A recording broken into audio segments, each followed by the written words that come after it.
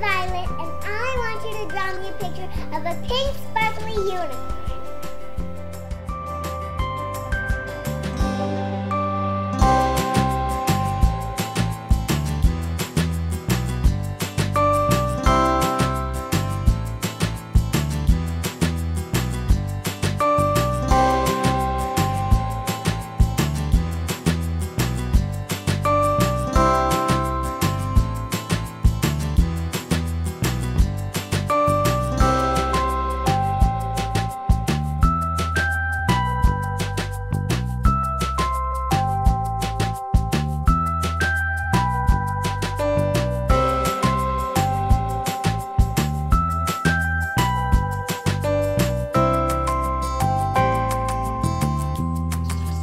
you